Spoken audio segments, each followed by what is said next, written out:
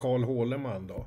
Och då gör vi grafen hur det ser ut. Och den här kan man då navigera, så det betyder att man kan ha de som pekar på honom. Så klickar jag på honom här, då ska, eh, ska det då finnas liksom arkitekt av 22 byggnader. Va?